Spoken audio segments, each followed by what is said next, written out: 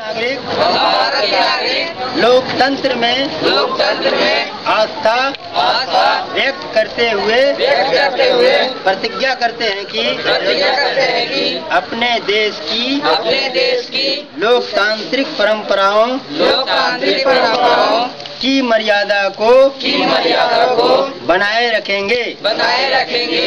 तथा तथा स्वतंत्र स्वतंत्र, निष्पक्ष निष्पक्ष एवं शांतिपूर्ण चुनाव की एवं शांतिपूर्ण चुनाव की गरिमा को गरिमा को अक्षुण्ण रखते हुए अक्षुण्ण रखते हुए सभी चुनावों में सभी चुनावों में निर्णायक निर्णायक होकर होकर धर्म धर्म वर्ग वर्ग, जाति जाति, समुदाय भाषा भाषा अथवा अन्य से अथवा अन्य से प्रभावित हुए बिना प्रभावित हुए बिना मताधिकार का प्रयोग करेंगे। मताधिकार का प्रयोग करेंगे।